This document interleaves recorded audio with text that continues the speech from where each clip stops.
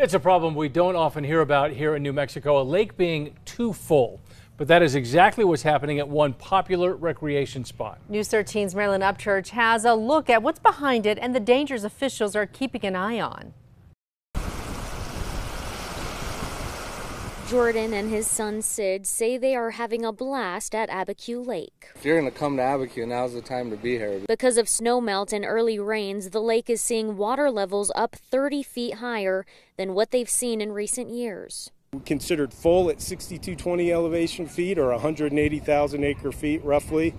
And today we're at uh, 62 28.14 elevation feet and 220,000 acre feet. All that water means areas where visitors would normally enter the water and recreate looks different. You can see that at the main boat ramp where boaters are loading into the water using the roadway rather than the usual concrete ramp.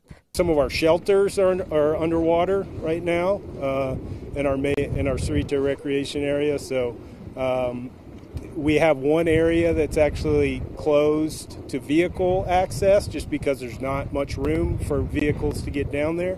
One of the pedestrian bridges is also underwater. While many New Mexicans are thrilled to see all that water, John Mueller with the U.S. Army Corps of Engineers worries about the impacts on infrastructure. I think the biggest thing is the water level recedes.